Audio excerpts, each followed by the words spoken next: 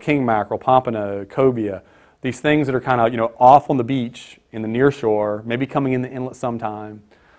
These things are taking a beating, right? And why might that be? Well, I don't know the answer to that. Um, but these are some sort of life history correlates, okay?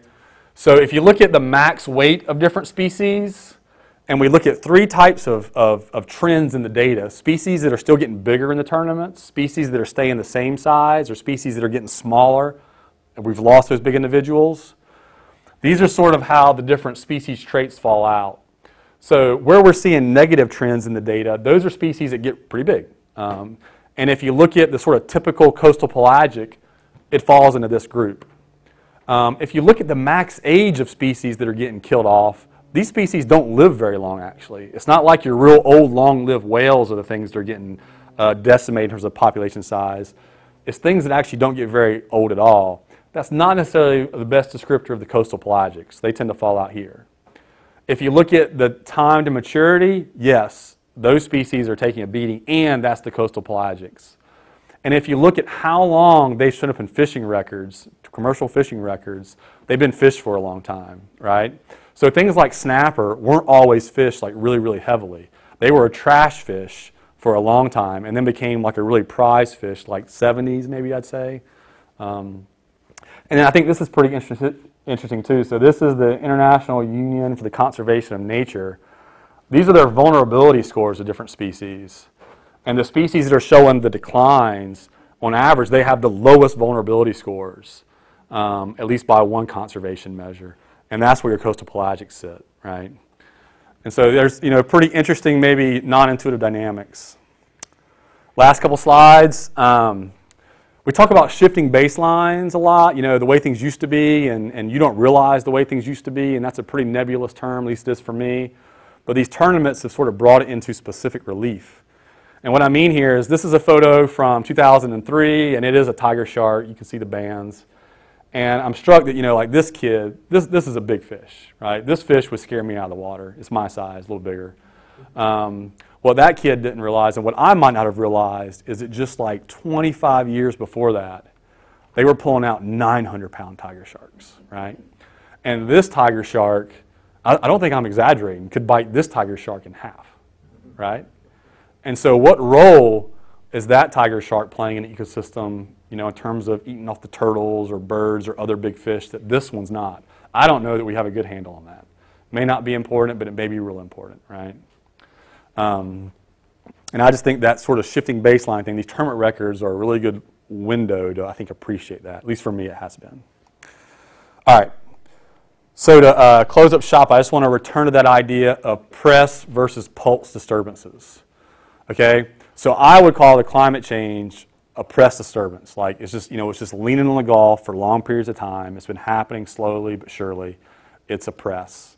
Um, and I think it is having some impacts on the Gulf. Uh, the oil spill is a, is a very famous, highly publicized pulse disturbance. Now, depending on who you ask and what system you're in, uh, at least in my system, the, the system has just sailed through largely unscathed. It doesn't mean that offshore fishes or the deep sea has. Doesn't mean that some marshes didn't get whacked, but by and large, if you ask me about coastal systems, including most marshes, they've been fairly resilient to this really, really, really important pulse disturbance that we've uh, heard a lot about and has funded a lot of research. Uh, and then there's this fishing, which is again another press, and it's just kind of always there, right? And it's having an impact. And so this is a, a graph taken from an analysis that, that, uh, that I was a part of, I didn't lead, looking at how much armored shorelines there are in the Gulf. So at county by county levels, do you have not very much armoring uh, or not very much armoring, or do you have a ton of armoring? Good job, uh, Tampa Bay. Y'all are uh, on the, I guess, worst end. Uh, uh, but anyway, you know, like this didn't happen overnight, right? And it's not like this thing that gets in the news a lot, but it's just creeping and it's creeping and the armoring's creeping and it's another press. And so the presses are probably harder to like, whoa, like let's focus on. And the presses may require long-term data sets, which are hard to fund. But in my not so humble estimation, the presses to me are showing me more impacts than the pulses. Even if the pulse is really big and really famous, um, maybe that's an overstatement or not. And then the last thing, uh, this is my last slide because this is the obvious last slide for someone who talks about fish their whole talk, right? Uh, but this is a black mangrove in the northern Gulf around the Chandeleurs. And what occurs to me is just to point out this. I figure there's some students there. You know, you might, you might be worried, or people might talk about being myopic and being too focused in on your little study system and not the broader picture. Um, but what's occurred to me is like I could come here and I could work in this system, and I could be looking about the effects of climate change, right? Because these things are moving up the coast, interacting with the marshes in probably interesting ways. Um, that are really dynamic and perhaps really important. Uh, if I was fo- focusing on this system, uh, I can look at the effects of oil spills or any impact, right? It turns out the literature suggests that mangroves are certainly more sensitive to oiling than even marshes are. And I don't know of anybody who's been able to say what the oil did to the mangroves that have been creeping up the coast, if it knocked them back in any significant way or had no impact on them. And then if you want to look at sort of the fish impact or the fisheries, like this is some sort of habitat for fishes. Is it as functional as a marsh? Uh, it depends probably on how much inundation there is. And I was learning today earlier uh, something I didn't know about the inundation regime of some of these black mangroves. It's more than I thought, basically.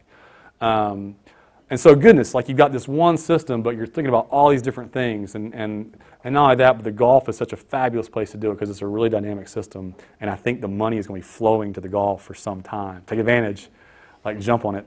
Uh, all right, and with that, uh, there are lots of people uh, to acknowledge, like co authors and technicians. Uh, I think libraries and newspapers. Most people don't do that, but I do. And then um, funding, and, and thank y'all for listening.